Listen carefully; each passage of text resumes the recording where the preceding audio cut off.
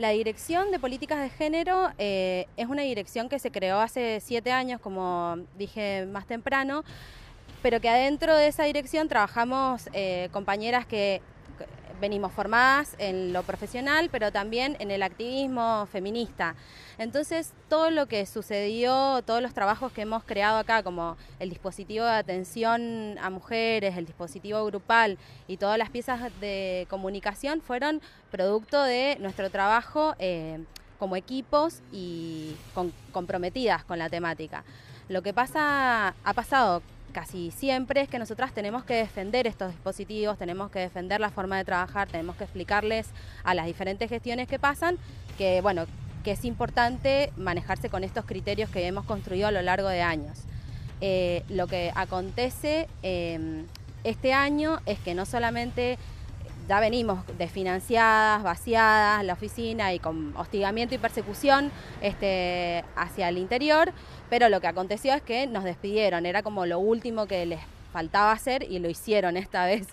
Eh, y a partir de ahí empezamos a luchar por la reincorporación de las cinco compañeras que despidieron, dos compañeras que trabajan en el hogar y tres compañeras que trabajan acá en la oficina. Y a partir de esa lucha, el 10 de enero, el Ministerio, después de cuatro audiencias que tuvimos en el Ministerio de Trabajo, con los cinco gremios, con los cuatro gremios que vienen luchando por la reincorporación de otros despedidos de la Municipalidad de La Plata, se logró la conciliación obligatoria, así que en este momento volvió todo a foja cero. Esto quiere decir que las compañeros que estaban despedidos volvimos a los, a los lugares de trabajo, pero con este, la particularidad que en la Dirección de Políticas de Género, que depende de la asistencia de la Secretaría de Atención a las Víctimas, que depende de Carolina Píparo, eh, esta Secretaría no está cumpliendo con la conciliación obligatoria, porque las condiciones y los acuerdos de trabajo que teníamos se, se anularon, digamos, no volvimos a la misma situación eh, inicial, o sea que no se está cumpliendo de parte de la Secretaría la conciliación obligatoria. Esto lo venimos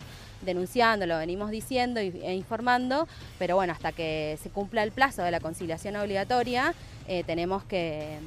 mantenernos, eh,